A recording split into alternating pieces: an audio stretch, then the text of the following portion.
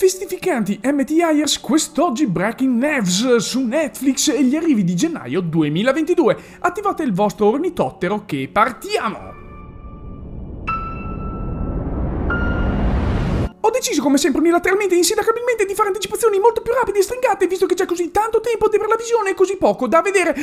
Scusate, la lingua mi è entrata nell'iperspazio. Intendevo dire così poco tempo e così tanto da vedere. Se non l'avete ancora fatto mettete un bel mi piace ed iscrivetevi al canale per rimanere aggiornati sulle uscite, per le mie recensioni e per tutto il resto di cui vorrò parlarvi. Forse è meglio se il gatto la smette di saltare sul potenziometro che le regola la mia velocità vocale. La prima uscita dell'anno è la serie Incastrati, disponibile dal primo gennaio e con protagonisti i comici italiani Ficara e Picone. I due interpretano due antennisti che malauguratamente si ritrovano sulla scena di un delitto e vi lascio immaginare. Già dal trailer è qualcosa di così trash e venuto male, soprattutto nella recitazione e nelle battute, che iniziare l'anno così è troppo pure per me girata al largo, quindi. Ma le buone notizie non arrivano mai sole. Esce Se son rose il primo gennaio, l'ultimo film di Leonardo Pieraccioni uscito in sala nel 18. Considerato che all'epoca lavoravo anche al cinema e l'ho rimosso, non è proprio un bel inizio.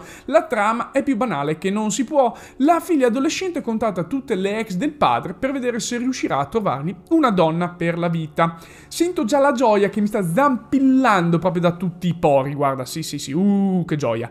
Non finisco certo qui perché esce pure Ti presento Sofia, sempre il primo dell'anno. Altro film del 2018, questa volta con protagonista Fabio De Luigi, padre single che deve nascondere in tantissimi modi fantasiosi la sua figlia, la nuova fiamma, che non vuole avere bambini attorno. Inutile dire quanto già detto sopra, ho rimosso pure questo. E poi la gente si lamenta di Diabolic, ma vi rendete conto, cioè, ma, ma vi rendete conto davvero, cioè cosa stiamo parlando? Cambiamo del tutto genere perché esce El Paramo Terrore, invisibile nel giorno più pauroso dell'anno, notoriamente quello della Befana.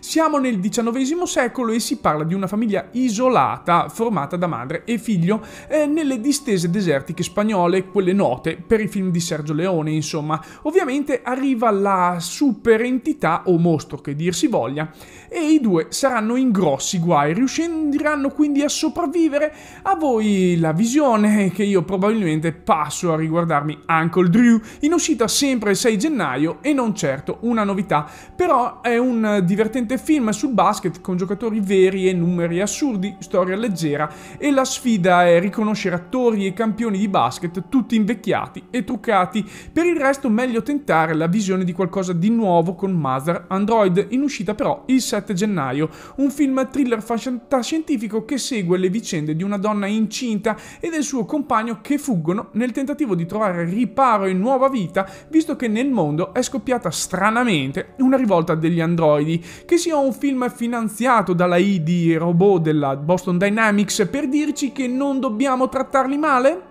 Saltiamo in un luogo dell'est Europa e per l'esattezza in Polonia con questo How I Fell in Love with Gangster in arrivo il 12 gennaio e tratto da una storia vera. Per l'esattezza narrare la nascita e caduta di Nikodem, uno dei più noti criminali della storia polacca, sarà appunto una donna che si è perdutamente infatuata di lui. Sinceramente non so, ma il trailer mi ha ispirato, quindi Eccovelo qui. Allo stesso modo mi ha attirato un'opera d'animazione dal titolo The House in arrivo il 14 gennaio. Si tratta di una serie antologica animata in stop motion e che narra le vicende e le avventure che negli anni si sono susseguiti in quello stabile. Ovviamente tutto a tema horror, una serie che mi ha colpito per la particolarità e la tipologia di animazione. Sempre il 14 gennaio e sempre a tema horror arriva anche Archive 81, universi alternativi, una serie dark piena di misteri misteri, di gialli e di fantascienza che parte con questo archivista che viene incaricato di ripristinare delle videocassette danneggiate e che verrà coinvolto in una storia di scomparsa di una regista e di una setta satanica. Vi va se parlo un attimo di calcio con questo documentario Neymar, il caos perfetto in uscita il 25 gennaio? Spero di sì, perché ne parlerò ugualmente. Quindi beccatevi questa miniserie sul calciatore più pagato del Paris Saint-Germain, fra l'altro un calciatore che mi pare non aver mai vinto nulla di così eclatante e che per me è pure un carattere. Ma forse è meglio saltare qualcosa di fantascientifico come la terza stagione di Snowpiercer, in arrivo il 25 gennaio con un episodio a settimana, lasciando da parte l'assoluto l'assurdità dell'ambientazione. La prima stagione ha funzionato molto secondo me, ma la seconda ha scricchiolato parecchio, soprattutto per la perdita di un ottimo personaggio. Vedremo quindi se questa stagione continuerà la discesa o ripartirà in salita. A me basterebbe che si stabilizzasse un attimo.